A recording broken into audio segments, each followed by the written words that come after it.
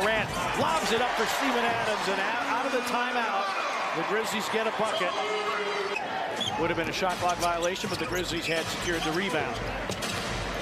Roddy, great delivery by Steven Adams. Keegan Murray remaining out there as a starter.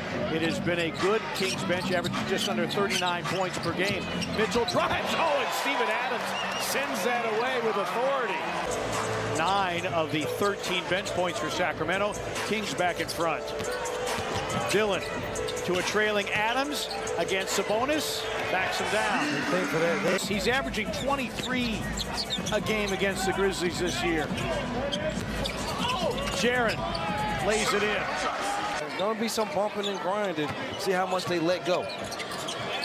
Here's Morant off the curl against Mitchell. Banks it in.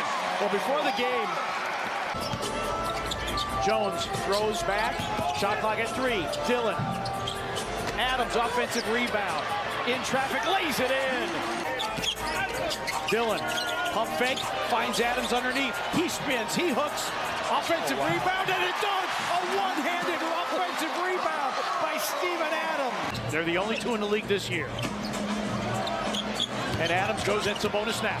Backs him down. Swings the hook and hits again. That's why they say you can go to him.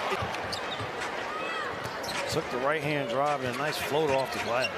Fox into a crowd, spins against Adams, who blocked it, couldn't keep it in play.